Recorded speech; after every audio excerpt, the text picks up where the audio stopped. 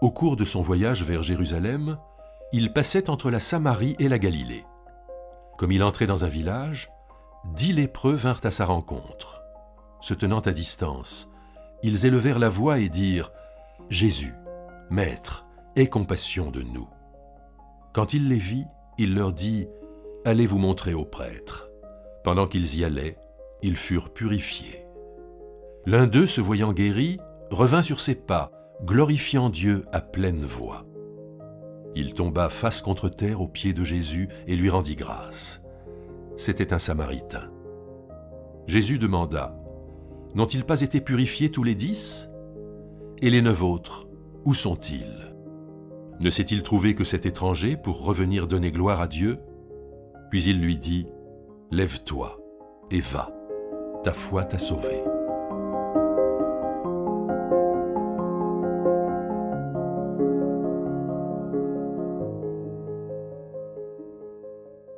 La semaine dernière, nous avons médité euh, le récit du serviteur qui n'avait fait que son devoir, et nous avons vu que aux disciples qui demandaient à Jésus plus de foi, Jésus répondait par cette parabole qui appelait à plus de fidélité, donc la fidélité qui nourrit la foi. Dans ce passage-là, euh, ce n'est pas la fidélité, mais c'est la reconnaissance, la reconnaissance, l'action de grâce qui est le moteur euh, de la foi. Alors, euh, l'histoire est une histoire de guérison, la guérison de, dix lépreux, mais nous voyons très vite que le thème de la guérison est presque secondaire dans le texte, puisqu'il est évacué en quelques versets. On nous dit simplement ils furent purifiés. Et que tout le centre, tout le cœur de ce récit, c'est la réaction face à la guérison. Alors d'abord quelques mots sur la lèpre, dix lépreux la lèpre était une maladie qui ajoutait au, mal de la maladie l'exclusion sociale. En effet, par peur de la contagion, les lépreux étaient condamnés à vivre euh, isolés. C'est la raison pour laquelle ils vivaient euh, ensemble, euh, loin de la, de la société. En plus de la lèpre, à la maladie, à l'exclusion, s'ajoutait enfin la culpabilité dans les récits rabbiniques, euh, souvent euh, les lépreux sont considérés, enfin la lèpre est considérée comme une conséquence de la médisance, du, mal parlé. Euh, à un moment, on parlait des lépreux comme étant des gens qui sont maudits de Dieu. Et tant et si bien que quand ils guérissaient la lèpre, ce qui était rarement le cas, mais quand ils guérissaient, ils devaient se montrer au prêtre, et c'est le prêtre qui leur permettait leur réintégration dans le corps social. Si bien que dans ce récit, lorsque Jésus demande aux lépreux d'aller se montrer au prêtre, déjà, il préfigure leur guérison. Le deuxième point d'exégèse, c'est d'insister quand même sur euh, le caractère un peu presque choquant, là, d'offrir un, un, samaritain comme exemple d'attitude juste. Et nous sommes dans l'évangile de Luc, et dans l'évangile de Luc, vraiment, on peut dire que Jésus fait de la théologie à coups de marteau, en donnant comme, comme exemple, comme exemple de foi, depuis le début de l'évangile, un centurion, celui dont un serviteur est malade, une femme pécheresse, celle qui lave les, les, cheveux, les pieds de Jésus avec euh, ses cheveux, euh, un collecteur des taxes, dans le parabole du collecteur des taxes et du pharisien, et maintenant euh, un pharisien, Vraiment, cet évangile est un évangile qui joue sur le paradoxe, sur le, le renversement. C'est ceux qui sont le plus éloignés, qui sont plus proches, hein, et donc ça appartient à tous ces renversements, le petit qui est le grand, le dernier euh, qui est le premier, euh, le serviteur qui est le vrai maître. Les dix lépreux donc euh, vont voir Jésus et le texte nous dit que en chemin, il s'avère qu'ils se trouvèrent guéris. Et à ce moment-là, dans le groupe des dix, il y a une scission qui s'opère entre neuf, neuf premiers qui courent aller voir le prêtre, et un. Un qui nous dit, il entend Jésus, lui dit, va voir le prêtre, en chemin il se trouve guéri, il réfléchit, il voit, et le texte nous dit qu'il fit demi-tour, et il est retourné voir Jésus en, rendant grâce à Dieu. Et bien d'une certaine façon, ce, ce Samaritain nous propose ici, là, les trois mouvements de la foi. D'abord, voir voir la trace de Dieu dans notre histoire et dans le monde.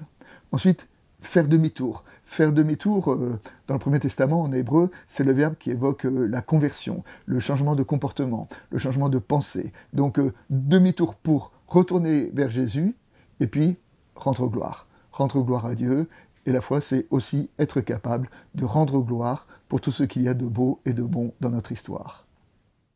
Dans la foi, parfois on se dit que si jamais on pouvait assister à un vrai, gros, authentique miracle, notre foi serait renforcée. Alors on le pense, mais ce récit nous montre que bah, ce n'est pas tout obligatoirement le cas, car là il y a quand même dix lépreux qui euh, sont au bénéfice d'une vraie guérison, d'un vrai miracle. Et sous les dix, il y en a neuf qui se précipitent chez le prêtre pour réintégrer leur vie d'avant, et sur les dix, un seul. Un seul s'est retourné et un seul a, converti sa guérison en, foi. Alors nous, voyons ici, face à cette guérison, une double attitude l'attitude des neuf premiers qui estiment qu'ils ont été guéris parce qu'ils ont eu la chance, ou plutôt la sagesse, de s'adresser à la bonne personne, parce qu'ils ont bien fait ce qui leur était demandé, parce qu'ils ont bien euh, écouté les recommandations.